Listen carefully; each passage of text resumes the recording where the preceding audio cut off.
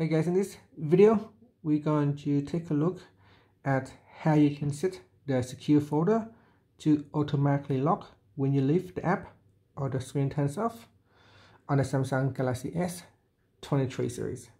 First, tap on the home button to go back to the home screen.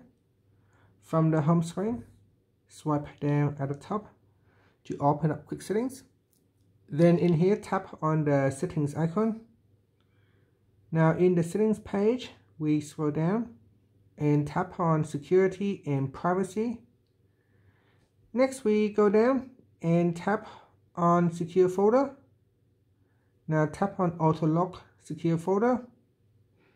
And then you can select each time I leave an app or you can select when the screen turns off or when the phone restarts and that's it so if you select one of the options you can see that if I go into secure folder